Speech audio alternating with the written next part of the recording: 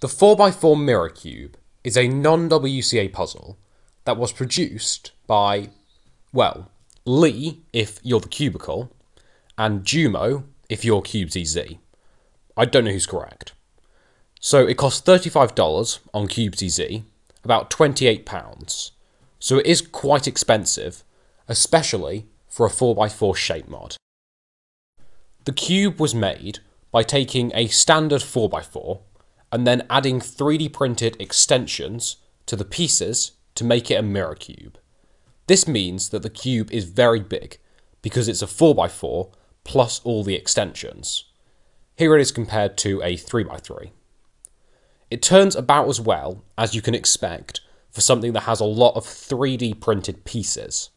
The turning is pretty fast and smooth, but it can catch a lot when you turn it, so you won't be turning very fast. Also, the internal bits of the extensions are not at all smooth, so this is one of the scratchiest cubes that I have. However, as long as you don't mind the scratchiness, the turning is definitely good enough to not be an issue. The company that makes these cubes is obviously just a small scale 3D printing operation, and they have taken massive strides in making big mirror and big ghost cubes. This is a really good thing for the non WCA market, but it does mean that the cube does have some things where you can tell there is a lack of quality control. Like, I had to separate two pieces with a knife because they were stuck together.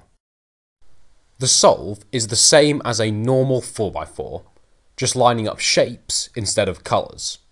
It takes about 10 minutes to do a solve, mainly due to the fact that edge pairing is quite difficult, as all of the edges look very similar when the cube is scrambled. The solve is pretty fun, but it's not that interesting, and it does not add anything on top of the normal 4x4 solve.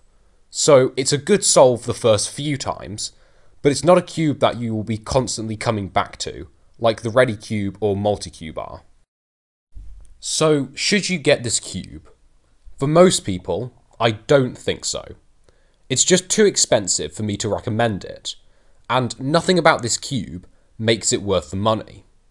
For the £30 that you would spend on it, you could instead get two or three really good and unique non WCA puzzles. I really like what this company is doing, and I've wanted a 4x4 mirror cube for a while, but I do think your money would be better spent on different non WCA cubes.